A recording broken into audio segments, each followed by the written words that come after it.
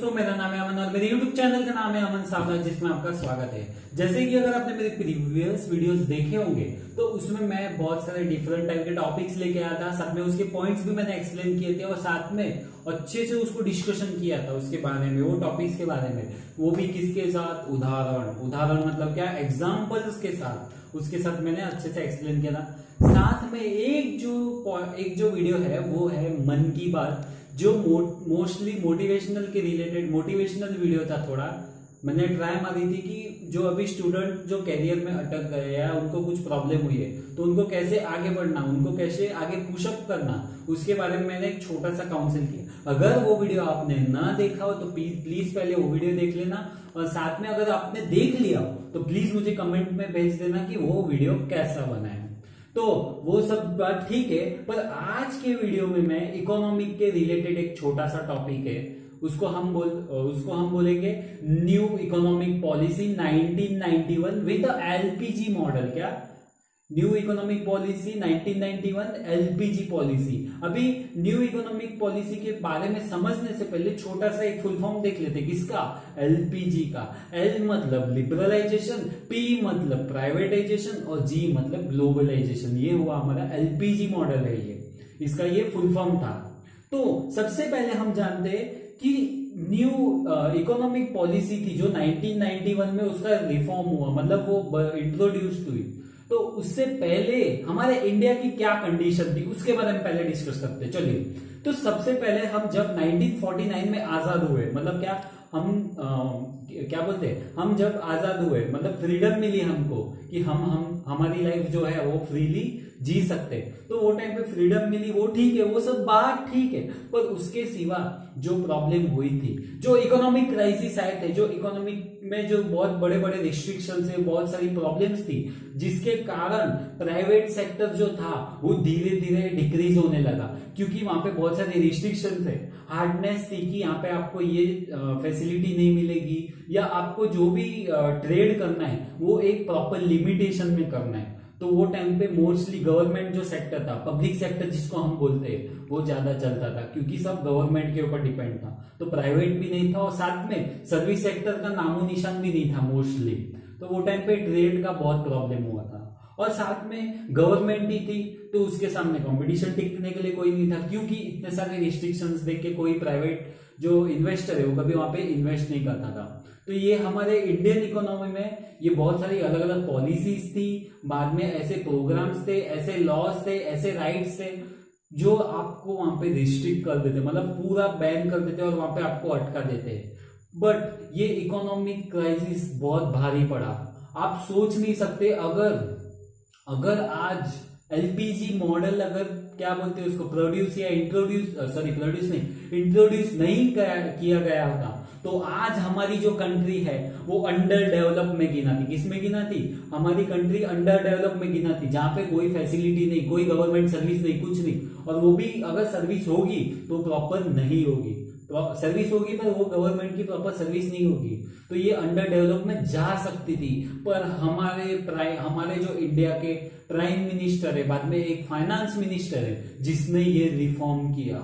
एक new economic policy बनाई, जिससे हमारा देश धीरे धीरे आगे बढ़ने लगा। हमारे जो क्राइसिस थे, हमारा जो पेमेंट बैलेंस था, वो बहुत ज़्यादा था। हम डेप में चल रहे थे उधारी के ऊपर चल रहे थे, और दूसरा इन्फ्लेशन महँगाई बहुत ज़्यादा बढ़ गई थी। तो उसको सेव करने के लिए हमारे प्राइम मिनिस्टर नरसिम्हम राव और हमारे फाइनेंस मिनिस्टर मनमोहन सिंह ने मिलके 1991 में न्यू इकोनॉमिक पॉलिसी क्रिएट की। कौन सी डेट को? जुलाई 24 1991 में न्यू इकोनॉमिक पॉलिसी एक जनरेट की या इंट्रोड्यूस की। उसमें वो पॉलिसी में जितने भी जो 1991 के पहले जितने भी रिस्ट्रिक्शन थे, बाद में जितने रूल्स में बहुत हार्डनेस था मतलब क्या रिजिडी थी तो वो जितना भी हार्डनेस और रिजिडी थी, वो धीरे धीरे कम होने लगी। जो पहले बिज़नेस करने के लिए उनको बहुत सारे डॉक्यूमेंट चाहिए रहते हैं या बहुत सारे उनको लाइसेंस चाहिए तो वो सब धीरे धीरे कैंसिल किए और एक प्रॉपर लाइसेंस बनाया, एक प्रॉपर डॉक्यूमेंट्री का प्रोसेस बनाया पूरी प्रोसेस एक सेट कर दी सब चीज़ में। और मेन फ़ायदा इसमें किसको हुआ? इंडस्ट्रियल सेक्टर और सर्विस सेक्टर और उससे भी ज़्यादा फ़ायदा किसको हुआ? प्राइवेट सेक्टर इसमें क्या हुआ था कि जब ब्रिटिश राज चल रहा था मतलब क्या? ब्रिटिश जब भी हमारे इंडिया में रोल रूल कर रही थी तभी क्या हुआ था? वो हमारा जो रॉ मटेरियल है जैसे कि कॉटन हो सकता है या कोई ऐसी आ, आ, कोई एग्रीकल्चर फ़ील्ड की कोई जो अनाज बोल सकते या ग्रोसरी बोल सकते, वो डायरेक्टली क्या करते थे? वो अपने कंट्री में बेचते थे। इंडिया से अगर समझो अमेरिका में तो अमेरिका में बेचते थे या यूरोप में बेचते थे। और वहाँ से वो पैकिंग होके हमारे इंडिया में आती थी और हमारी प्रोडक्ट हमें वो कितने में देते थे? डबल पाओ ट्रिपल पाओ ज़्यादा से ज़्यादा अपनी प्राइस कलेक्ट करते थे। तो उसके कारण वो उधारी हो गई थी और वो उधारी के कारण हम जो उधारी थी हमारी, वो पे नहीं कर पा रहे थे। क्योंकि ये जो ब्रिटिश राज था, उन लोग ने क्या किया कि वो उन लोग ने जितना भी हमारा जितना भी हमारा प्रोडक्शन था, हमारा एग्रीकल्चर में जो प्रोडक्शन था प्राइवेट जो कंपनीज़ हमारे पास से जो पैसे लेती थी, वो सब लेके रफू चक्कर हो गए मतलब निकल गए इधर से जुगाड़ करके। पर हम यहाँ पे फंस गए। हमारा इकोनॉमी धीरे धीरे गिरने लगा। तो उसको सेटअप करने के लिए दो नमूने कौन कौन ये दो बड़े महान व्यक्ति, जिसका नाम है प्राइम मिनिस्टर हमारे। नरसिम्हा राव और फाइनेंस मिनिस्टर मनमोहन सिंह और उनका एक ग्रुप जिसने एलपीजी पॉलिसी क्रिएट की, जिसमें जितने भी रिस्ट्रिक्शन है सब हट गए। और बाद में धीरे धीरे एलपीजी पॉलिसी जैसे सक्सेसफुल होती गई तो धीरे धीरे क्या होने लगा? F D I foreign direct investment हमारे इंडिया में होने लगा। मतलब जितनी भी प्राइवेट कंपनी थी, वो सब धीरे धीरे इन्वेस्ट करने लगी। क्योंकि हमारे रिस्ट्रिक्शंस जो 1991 के पहले थे, वो सब हट गए और एकदम ग्रेजुअल ग्रेजुअल हो गया, एकदम मतलब एकदम स्मूथ हो गया हमारा जो इकोनॉमी था। तो उसमें धीरे धीरे सब इन्वेस्ट करने लगे। जैसे जैसे इन्वेस्टमेंट बढ़ते गया, वैसे वैसे हमारे इंडियन इकोनॉमी में एक धीरे धीरे हमारी जीडीपी बढ़ते गई। धीरे धीरे जो भी परसेंटेज टूट गए थे जो माइनस में चले गए मतलब नेगेटिव में चले गए थे, वो धीरे धीरे पॉजिटिव में आने लगे। उधारी जिस, जो जो कंट्री की उधारी थी हमारे हाथ में, वो सब पे कर दी। बाद में धीरे धीरे एक स्टेबलाइज एक बैलेंस आ गया और धीरे धीरे ऐसे हमारी इकोनॉमी बढ़ते गए तो जितने भी जो रिस्ट्रिक्शन थे, वो हट गए। तो इससे पहले रिफॉर्म्स आप क्या सोचते हो कि रिफॉर्म्स क्या है? रिफॉर्म्स मतलब जो चीज़ पहले थी, पहले से थी, पर उसको वापस रिफॉर्म किया। रिफॉर्म मतलब क्या? उसको वापस बनाया। कैसे? इजी वे मतलब वो हार्ड नहीं हो चाहिए मतलब एकदम हार्डनेस वाला नहीं होना चाहिए। बहुत सारी रिस्ट्रिक्शंस नहीं होने चाहिए। एकदम कम रिस्ट्रिक्शन और ज़्यादा उनको फ़ायदा हो, ऐसा होना चाहिए। तो वो उसको फॉर्म था, उसको रिफॉर्म किया मतलब वापिस बनाया। तो इसमें बहुत सारे ऐसे मेजर्स भी थे कि किसको किसको बैलेंस करना। बहुत सारे इसमें जो सेक्टर्स है उसको बहुत फ़ायदा हुआ और मेन तो इंडस्ट्रियल सेक्टर है। उसको इतना फ़ायदा हुआ कि वो धीरे धीरे इन्वेस्ट करने लगे। जो प्रोडक्ट हम फॉरेन से मंगाते थे फॉरेन जिन कंट्रीज़ से हम मंगाते थे, वो डायरेक्ट यहाँ पे बन रही थी। और जो फॉरेन जिस फॉरेन जिन फॉरेन कंट्री हमारे यहाँ पे इन्वेस्ट करती थी।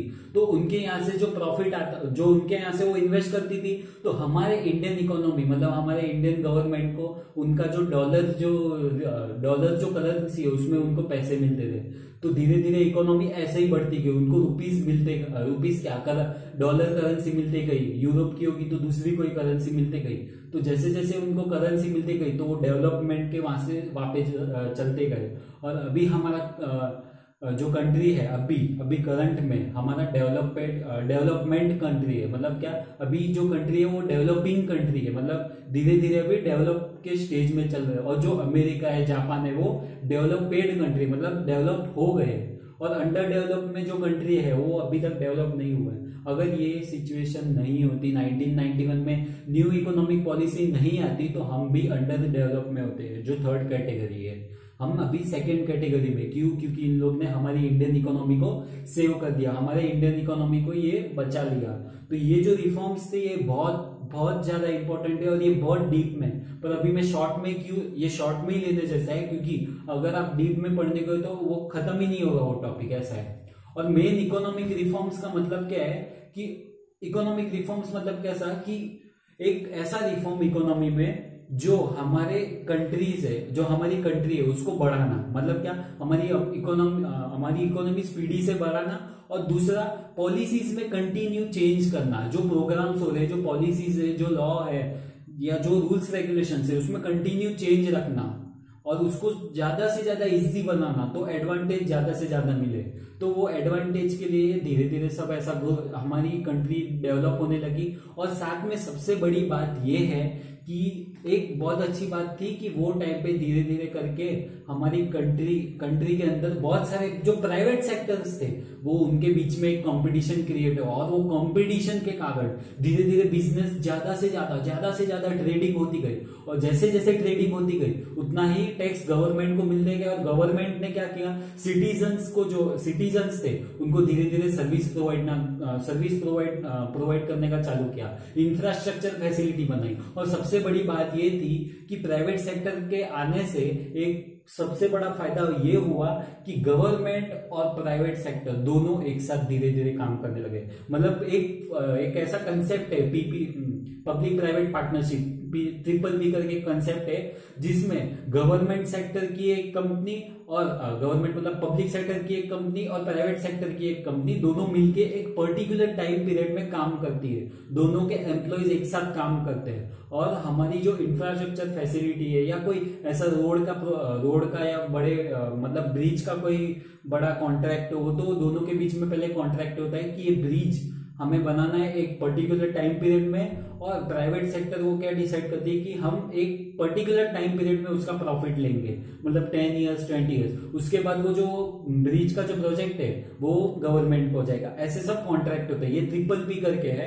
अगर आपको ट्रिपल की पी के बारे में पब्लिक प्राइवेट पार्टनरशिप के बारे में अच्छे से जानना हो डिटेल में जानना हो तो प्लीज़ मेरे कमेंट बॉक्स में आज लिख दीजिए कि ये वीडियो में मैंने एक कंसेप्ट देखा था triple P public private partnership उसको वो उसका एक मेरा उसका एक वीडियो बनाए।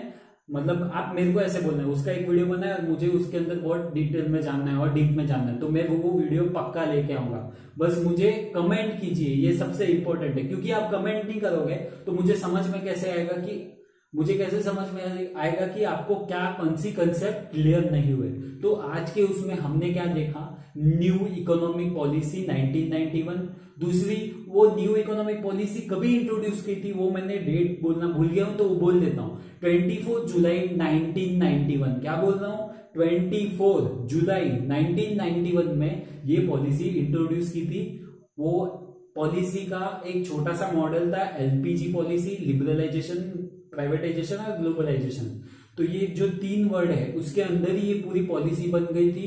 और ये पॉलिसी में जो ये तीन पार्ट है, वो मैं तीन अलग वीडियो में समझाऊँगा। आज के वीडियो में सिर्फ़ मुझे ये डिस्कस करना है कि, ये डिस्कस करना था कि न्यू इकोनॉमिक पॉलिसी 1991 क्यों मतलब क्यों रिफॉर्म की मतलब क्यों बनाई?